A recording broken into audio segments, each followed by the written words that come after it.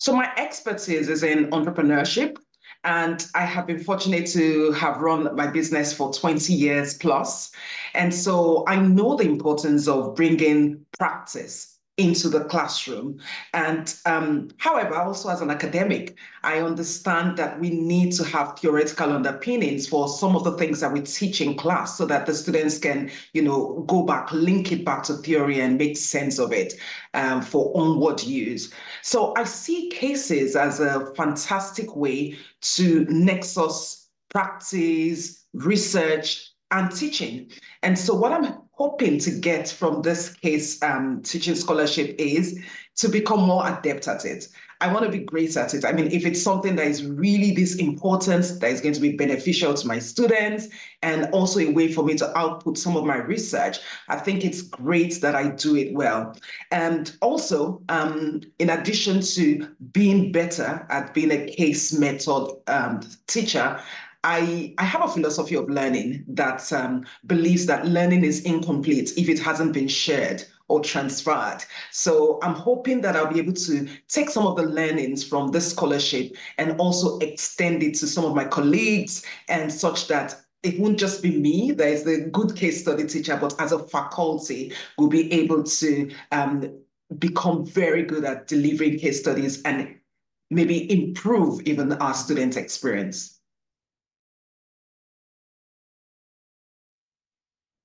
So earlier in the year, I think it was in celebration of World Case Teaching Day, I saw a thread about celebrating case um, method.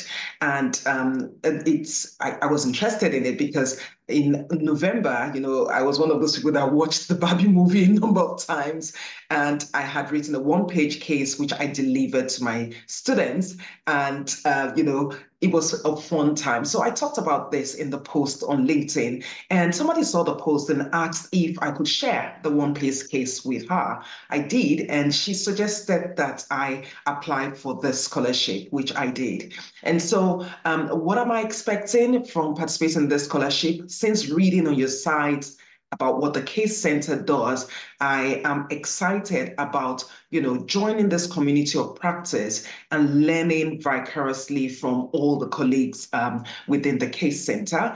And more than that, I'm also excited about learning formally in the workshop that is happening later in the year. And then I love the fact that I get to be mentored one-on-one by an expert. Come on, that is exciting.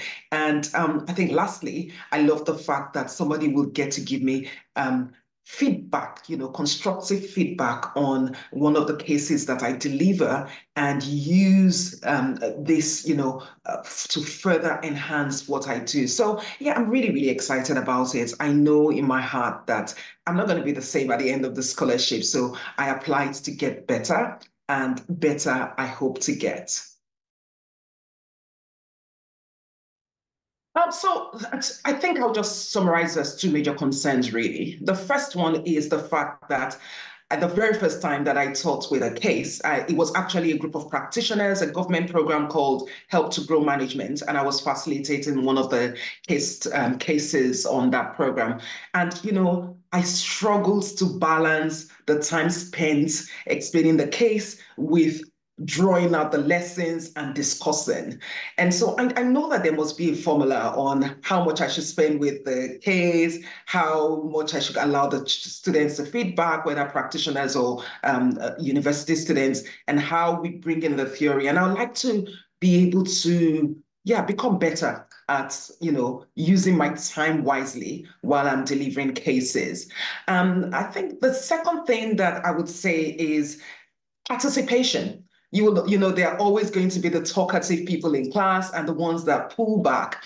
And uh, while with some of my teaching, what I generally do is I bring charts and all the sort of things in. I don't know how to incorporate that into a case yet. So I would like to learn more about how to increase participation in a way that doesn't look like that's what I'm doing, in a way that just looks like it's part of the case, and you know, people just feel confident um, and comfortable to to, um, to talk in class. I remember a case, another case that I wrote a while back, and it was on, um, you know, with the small animals had started picking up disposable vapes and pretty much they were getting high. and students loved that. So I wonder if it's because of the relatability to the students that they were able to engage in that, or whether it was the way I delivered the case. But whatever the reason, I would like to be able to learn to increase participation in my class um, as well as be more time conscious in the way that I schedule the case.